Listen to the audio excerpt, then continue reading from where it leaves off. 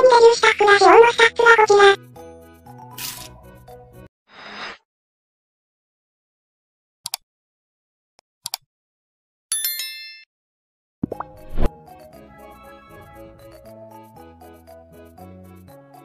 首位との試合で途中出場とはいえ出れてるの期待されてる証拠やん。この年齢でトップで使ってもらえるだけでもすごいのにレバークーゼン相手のスコアレスのシチュエーションでってのがやばい。